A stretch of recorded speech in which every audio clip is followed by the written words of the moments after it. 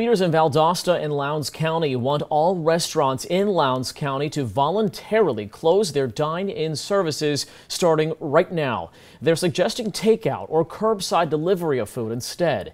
This is all to slow the spread of the virus.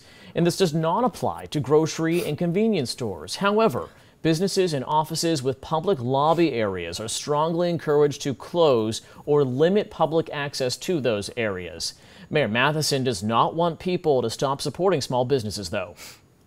Hunker down and help each other and support each other, and, and for the pickup and takeout, uh, down to my last dollar, I'm going to continue to support the restaurants, and we encourage you to do the exact same thing. Feel their pain, because it, it's a it's a tough it's a tough time for all of us. Leaders also want restaurants to increase the frequency of cleaning and sanitizing of all hard surfaces, including tables and countertops.